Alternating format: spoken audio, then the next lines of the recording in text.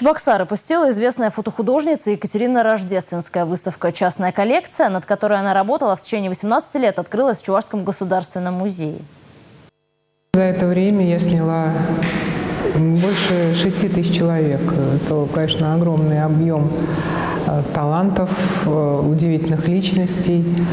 Э, И вот часть из них здесь, на этой выставке. Это первая выставка в Чебоксарах. Я очень рада, что я приехала наконец сюда.